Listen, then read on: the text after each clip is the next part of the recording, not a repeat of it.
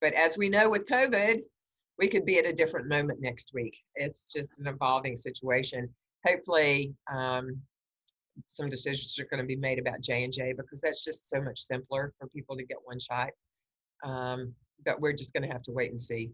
yeah. So I think they said today that it will be at least another week for whenever they set their next meeting. So will that kind of impact this i know that you said earlier this week it's not really going to impact the supply so much i guess probably because we are seeing less demand but what's going to happen to those shots if they kind of get past the point of i don't know how long they last until they would expire but and then do you think that will have a continued impact? Obviously hesitancy then becomes the concern too. So what we're seeing right now is the vaccine the j&j vaccine that we have on hand does not expire until june um, and is good in, in the proper storage easily past that. So we're not concerned about being able to use it once um, it's freed up again for use. Uh, the other thing that we're seeing is that the federal government is no longer shipping J&J um, until it's been approved and opened up again. So what we what we received this past week, we've got in the freezer, set aside. It'll be there until they tell us we can use it again. Um, what we're seeing for what we will get next week is more Pfizer and Moderna than we had been getting before. So we're getting we're we're not getting any J and J next week. It's just um, the state is not getting it. We're not getting it.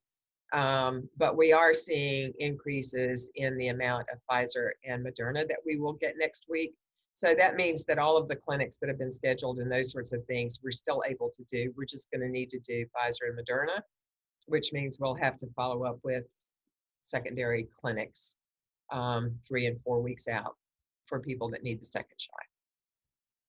So I think the I think they just updated it and the fully vaccinated rate is at like 18.3 and it's kind of been in that area for a bit. Do you see it going up? And I know we've talked about how the data is not the full picture, but do you see it all still rising or is it not going fast enough for you?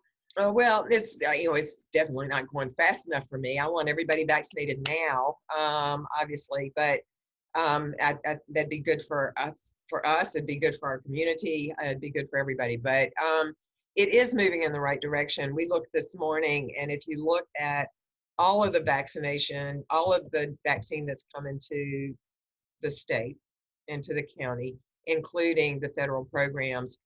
For partially vaccinated, we're in the 30s now. So that's great news. We are moving in the right direction. People are getting vaccinated. Um, the clinics that are being held out there are being successful getting vaccine out. So we are moving in the right direction. Um, we're just we're just not there yet. Um, and so we need people to continue to pay attention to this. And as soon as you have the opportunity to get a shot, to take it. Um, that's that's the important message.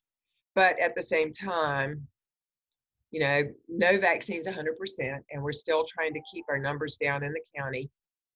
So we need people to still wear their mask and socially distance. I know folks are tired. I know, you know, the weather's nice. They want to get out. They want to do whatever. Um, so that it's normal again. Um, but unfortunately, we're not there yet. So we still need people to to be careful um, and to use good common sense when they're out of their homes